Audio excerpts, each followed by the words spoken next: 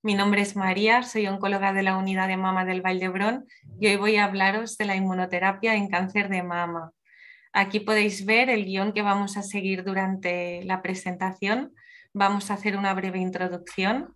Hablaremos de qué son los anticuerpos inhibidores de checkpoint, qué papel tiene la inmunoterapia hoy en día en cáncer de mama, cómo la administramos, qué pacientes pueden recibir inmunoterapia, cuáles son los efectos secundarios más frecuentes que vemos y finalmente acabaremos con unas conclusiones.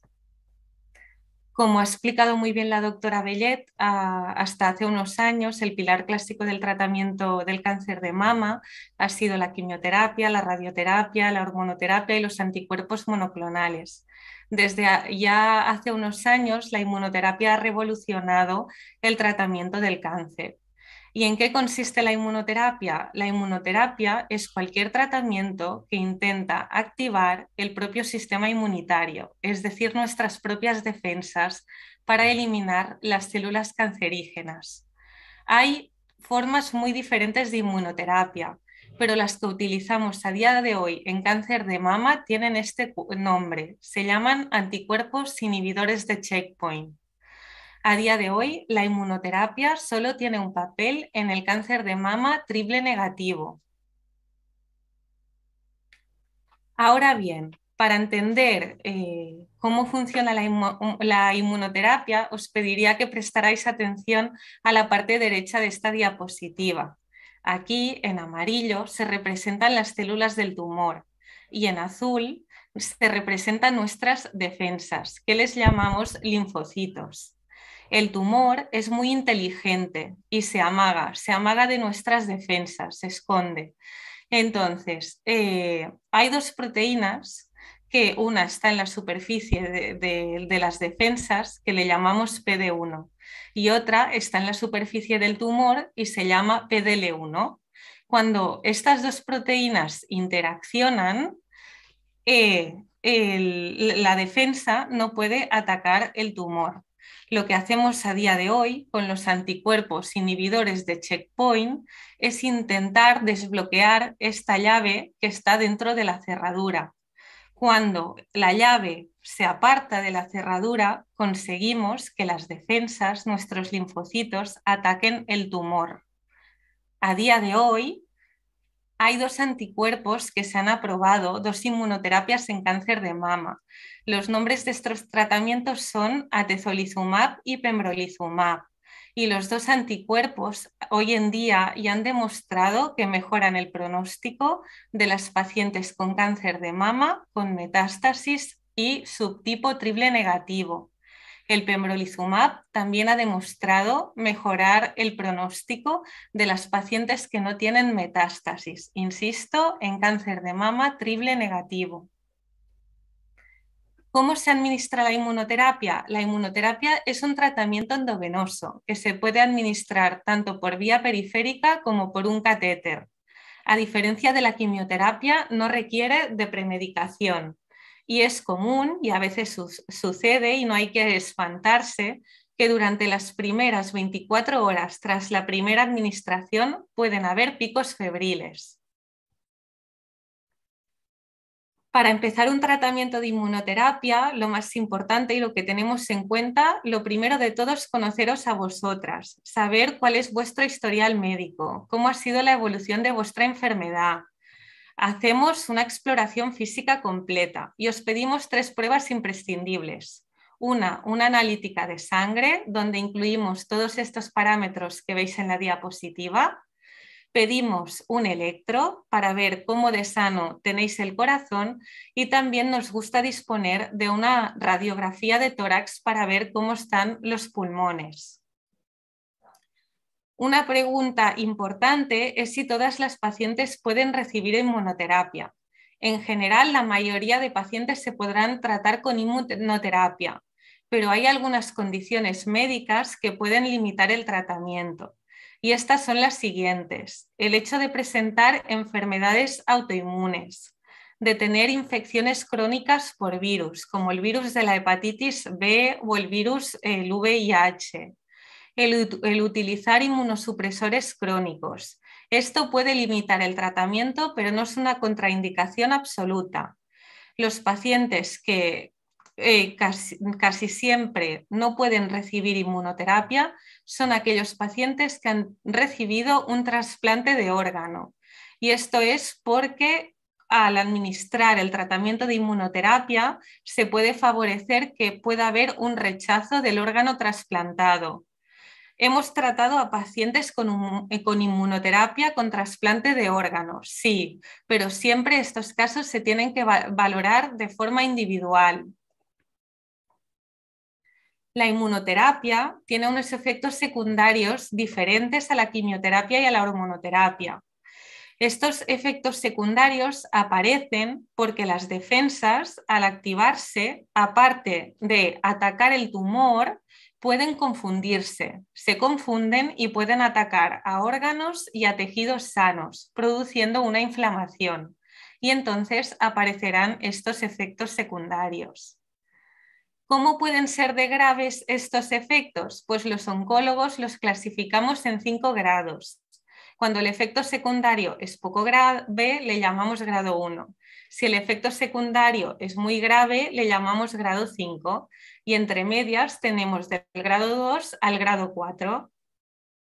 Sabemos que de todos los pacientes con cáncer que reciben inmunoterapia, hasta un 50% pueden presentar efectos grado 1, grado 2 y que un 15% de las pacientes la toxicidad será grado 3 o más, pero también hay muchas pacientes que no presentan ninguna toxicidad.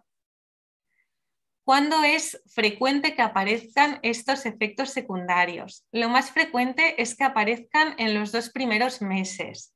Es el periodo que llamamos periodo crítico ventana.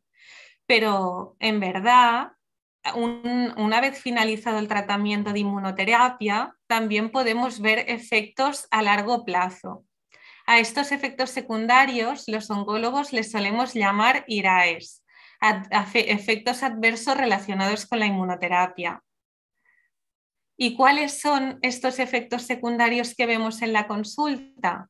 Uno de los efectos eh, más comunes es el cansancio y este cansancio puede manifestarse en muchos grados.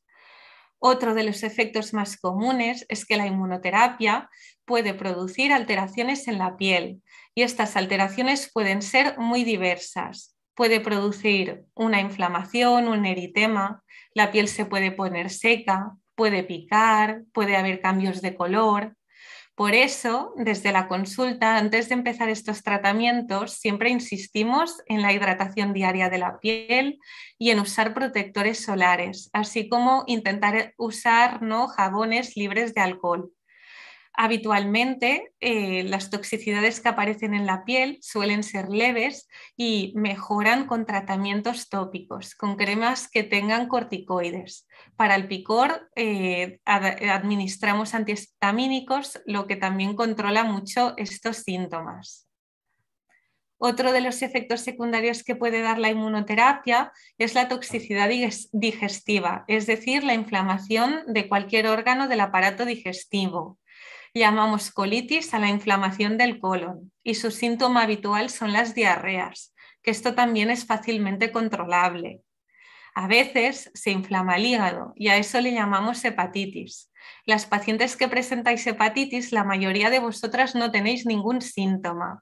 Somos nosotros, los médicos, los que vemos en estos parámetros que están resaltados en verde que, que hay una alteración y detectamos esta hepatitis. A veces también se inflama el estómago, lo que llamamos gastritis. Y en alguna ocasión se puede inflamar el páncreas. Esto es muy, muy poco frecuente, pero en los casos en los que el páncreas se inflama, hay dos parámetros que son la milasa y la lipasa que también se pueden alterar. Otros efectos de la inmunoterapia son la inflamación de nuestros órganos endocrinos. El órgano más frecuente que se puede inflamar por la inmunoterapia es el tiroides. Y habitualmente cuando venís a la consulta casi siempre estáis asintomáticas. Vemos que tenéis un problema en el tiroides porque en la analítica vemos estos parámetros, TSH, T3 y T4. Lo más habitual es que tengáis un déficit de hormonas tiroideas y esto lo tratamos añadiendo eh, levotiroxina, suplementos de hormona tiroidea oral. Más raramente también pueden inflamarse otros órganos, como la hipófisis, que es un órgano que se encuentra en la base del cráneo y que ayuda mucho a regular todo el sistema hormonal de forma global. A veces se inflaman las glándulas suprarrenales, lo que conlleva una insuficiencia suprarrenal. Y esto se traduce por un déficit de cortisol. El cortisol es la hormona que nos ayuda a, responder ante situaciones de estrés. Y en casos muy, muy raros también puede aparecer una diabetes. Como la doctora Belleta ha comentado, eh, con algunas quimioterapias, eh, con la inmunoterapia también puede aparecer una neumonitis. Esto es poco frecuente, pero puede ser grave. Entonces hay que, hay que estar atentos cuando recibimos estos tratamientos a la aparición de tos o a la sensación de falta de aire. Para acabar con las toxicidades, comentar que también estamos acostumbradas a ver en la consulta inflamaciones articulares, que les llamamos artritis. A veces se puede inflamar el riñón, lo que le llamamos nefritis, y habitualmente tampoco tenéis síntomas, sino que lo detectamos por estos parámetros analíticos, la creatinina, el filtrado glomerular, y si nuestras defensas se activan mucho, mucho, mucho y atacan el corazón, se puede producir una miocarditis y si atacan el tejido cerebral, una encefalitis. Esto es muy, muy poco frecuente, pero podría ser muy grave. Entonces, cuando se empieza un tratamiento con inmunoterapia, habitualmente os vemos a la consulta de forma mensual. Hacemos bien una exploración física, revisamos bien la piel y os pedimos cada mes una analítica súper completa para poder ver que estos efectos secundarios que hemos comentado no se desarrollen. Cuando ya lleváis varios meses de tratamiento, se pueden espaciar los controles si todo está correcto habitualmente y en las pacientes que tratamos con inmunoterapia en cáncer de mama, los efectos secundarios más frecuentes que vemos son el hipotiroidismo, el déficit de hormona tiroidal. Solemos ver afectación cutánea en forma de rash y también de picores y ocasionalmente encontramos hepatitis en las analíticas. ¿Cómo tratamos todas estas inflamaciones? Pues la verdad, cuando tenemos un efecto secundario de la inmunoterapia, lo primero que tenemos que hacer es establecer cuánto de grave es este efecto secundario. Tener un efecto secundario por la inmunoterapia no siempre implica tener que suspender el tratamiento. Solo suspendemos el tratamiento en casos de grado 3 o grado 4. El tratamiento, eh, mm, los efectos secundarios de la inmunoterapia se tratan con corticoides, que lo que hacen es desinflamar todos estos órganos que se puedan haber inflamado. Los corticoides se pueden administrar tópicos, en piel, orales o incluso endovenosos.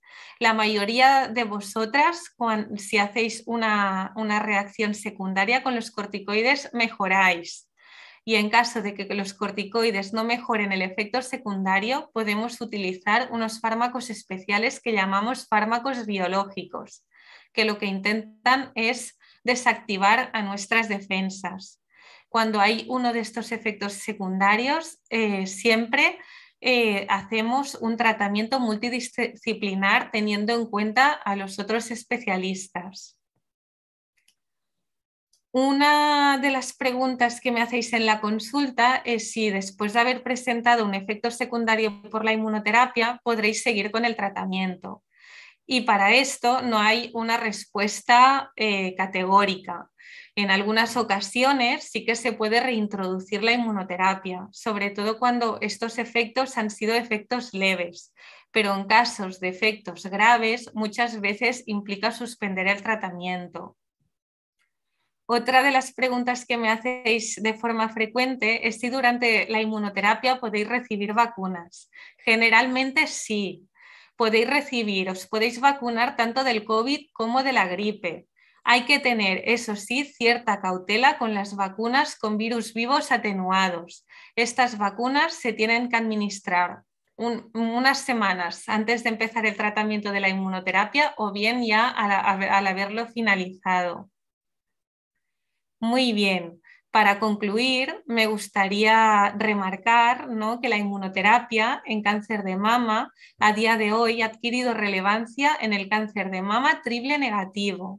Los medicamentos que han demostrado actividad y que son eficaces son pembrolizumab y atezolizumab. Con estos tratamientos lo que hacemos es desbloquear nuestras defensas para que puedan atacar el tumor pero a veces estas defensas se confunden y aparte de atacar el tumor, atacan órganos o tejidos sanos y es cuando aparecen estos efectos secundarios. Las pacientes que reciben inmunoterapia en cáncer de mama, los efectos más frecuentes que apreciamos son las alteraciones del tiroides, el rash y las hepatitis. Todos los efectos secundarios de la inmunoterapia se tratan con corticoides y las vacunas del COVID y de la gripe son seguras. Muchas gracias por vuestra atención.